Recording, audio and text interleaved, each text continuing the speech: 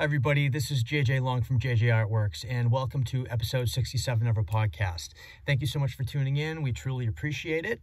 In this week's episode, I actually want to talk about the idea of breaking down like your big goals this year and breaking them down into chunk size, bite sized pieces. Something that's easily digestible, something that you can easily sort of track your progress, as opposed to just thinking of the big idea or the big destination you want to you want to get to and stressing yourself out. Because with the turn of the new year, I'm sure a lot of us have the, these big ideas and these big goals for ourselves.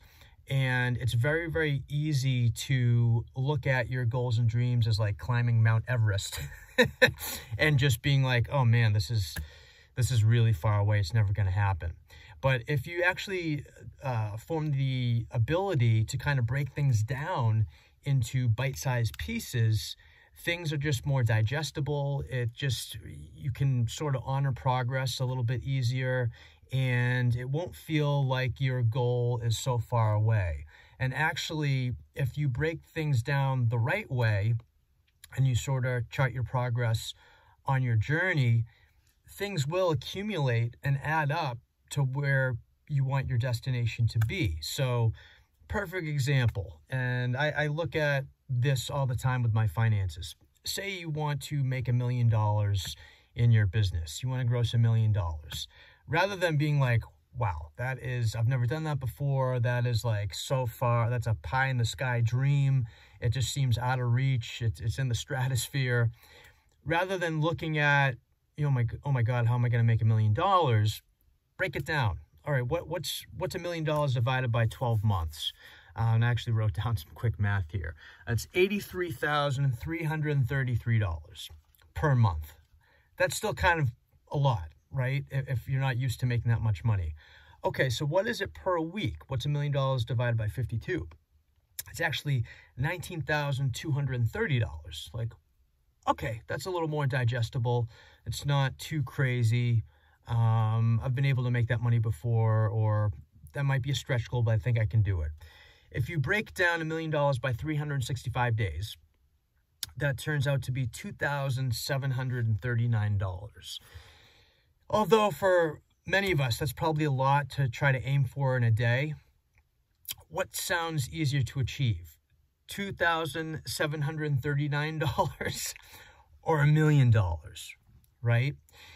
If you're able to strive toward $2,739 per day, and you do that every day, you know, whether you do it or not, if you have that mentality that, okay, as long as I reach this target every day, I will become a millionaire. Like it, it, it will happen. It, it's math. It's mathematically proven. If I hit this target every day, I will get there.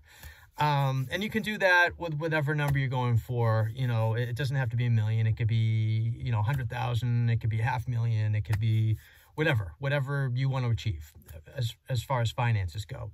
But when you start thinking, when you, basically, it's kind of the same concept. If you don't value a dollar, you'll never value a million dollars because a million dollars is composed of a million one dollar bills right they, they don't make a million dollar bill it's it's a million dollars is a million times one dollar bills or you know whatever you know denomination you want to use. But basically um, being able to create mini goals that lead and accumulate to a big goal that's the way you should do it.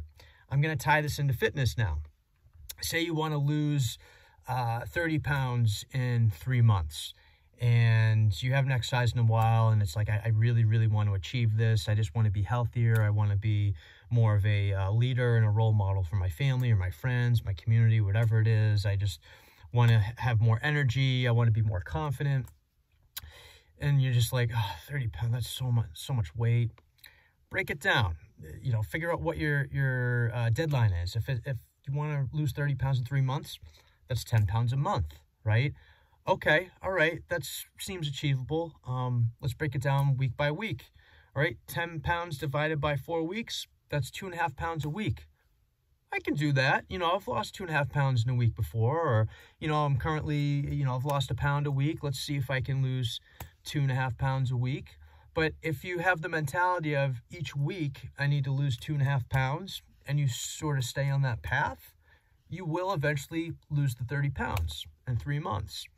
Um, same thing, say you want to uh, get married someday and you're like, oh my god, I'm not, I'm not even dating anybody, uh, but but I want to get married this year in the next couple of years, whatever.